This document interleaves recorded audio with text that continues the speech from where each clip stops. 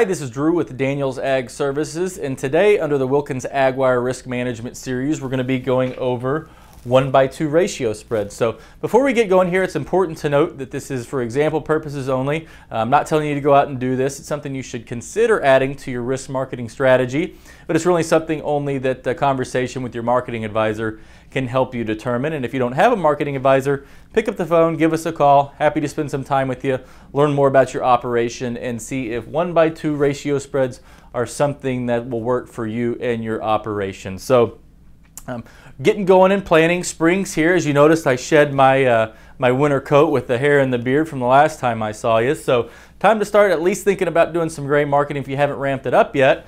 And one by two ratio spreads, if you haven't sold much or need to do something, uh, definitely something to consider adding to your marketing strategy. So for one by two, what does that mean? The one is buying one put and the two is selling two calls. So What's the purpose of that? Well, you buy the put to protect to the downside, and then you sell the calls to help pay for the puts.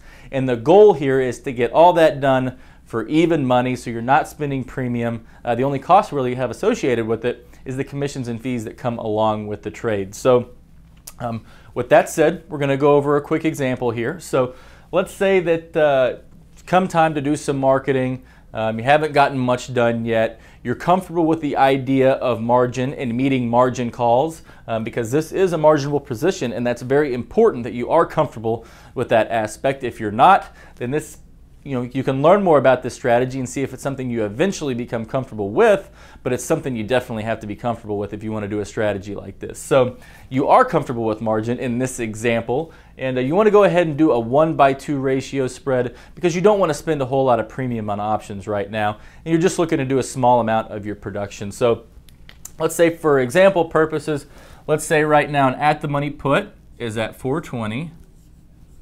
So we got a 420 put here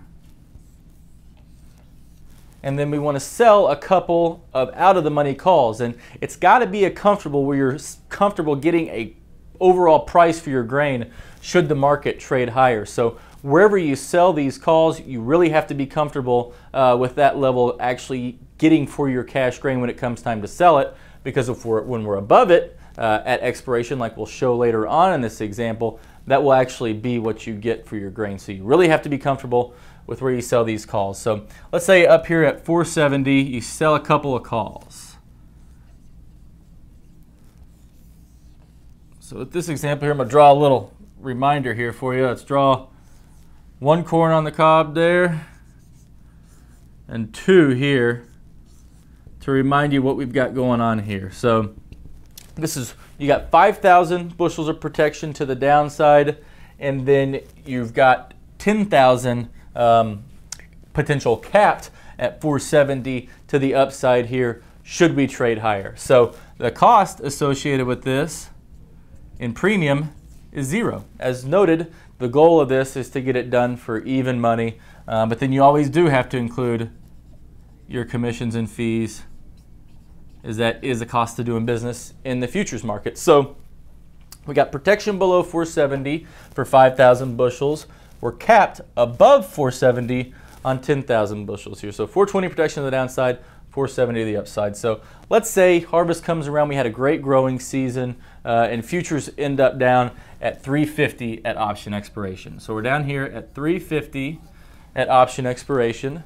The difference between these two here is 70 cents. So as we've noted in the past with some option videos that we've done, if there's a premium associated with what it costs to get into the, the marketing strategy, you have to subtract that from this gain here. Well, as noted, the cost was zero than this other than the commissions and fees, so you get to keep the whole 70 cent difference here. minus your commissions and fees. So that's why a lot of producers will like doing this on a small amount of their production is due to the fact that there's no outlaying cost and they actually get to keep the difference between these two right here, which is that 70 cents. So what about the reverse? What if the reverse happens and we didn't have a great growing season? There were some weather issues and we're up here at five bucks after uh, at option expiration. So the difference between $5 and 470 is 30 cents. So you got a 30 cent difference between these two, but you've got to remember we sold two, so you got to multiply that by two, and your futures account will show a loss of 60 cents. But you also do have to remember this 470, as noted, was a level where you were comfortable uh, selling your cash corn for. So you're getting $5 in the cash market for your corn because you just did the option market. You didn't have to do an HTA. You didn't sell futures, so you were still allowed to participate to the upside.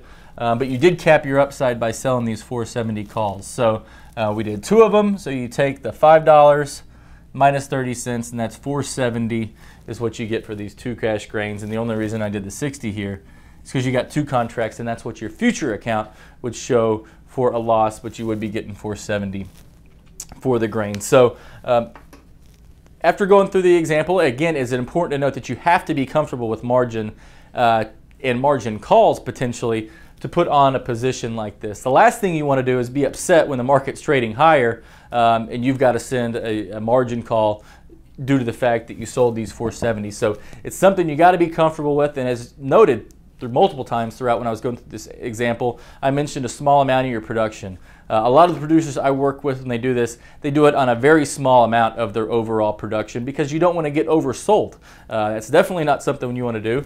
And when you're selling two calls up here, you got to keep that in mind with your uh, overall marketing strategy as well because you don't want to be oversold and you don't want to be mad when the market's going higher because you're having to meet margin calls. So it's got to be something you're comfortable with. Um, there are some things you can do throughout the middle of the trade, such as rolling options up, rolling options down to try and uh, ease some of the margin calls or margin situation. But we've got to do black and white examples here. So can't get into that. If you want to talk further about that, then just give us a call and we'd be happy to go through it with you. But that's all we've got for today. So if you've got any questions, let us know. And again, this is for example purposes only. Um, it's something you should consider adding to your marketing strategies, but really only conversation with your marketing advisor can help you determine that. So thanks. Have a great day, and we'll see you next time.